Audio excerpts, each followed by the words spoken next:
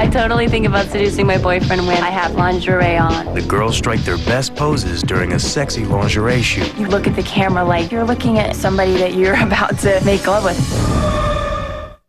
Coming up, All right, I think we've got our seven. three girls are eliminated, When I found out, I was in disbelief. and the competition heats up while the seven finalists bear all in their first nude photo shoot. Beautiful.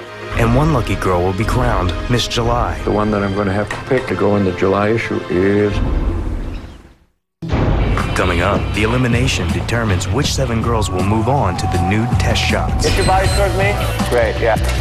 That's good, yeah, that's good. Beautiful. Get up a little, yeah, nice. Coming up, I almost seriously, I thought I was gonna faint. the pressure mounts. Lauren already told us that you lied to us. I didn't lie about anything. Whatever. If she said her pictures were bad, she was lying. Coming up next, It's a hard decision for Playboy to make.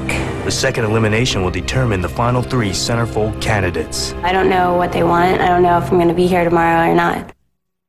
Coming up, the finalists go head to head as Playboy's Miss July is finally revealed.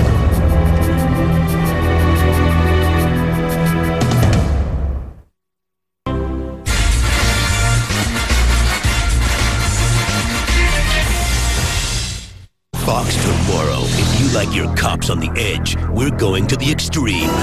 With the most intense moments ever, life and death shootouts, heart-pounding drug raids, and so many extreme moments. Shots fired!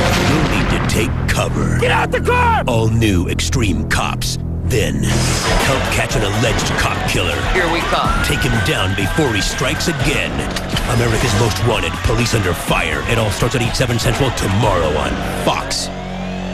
Fox tomorrow. How far would you go to win a blind date? I've made my decision. I choose Beneath All new Mad TV, late night tomorrow on Fox.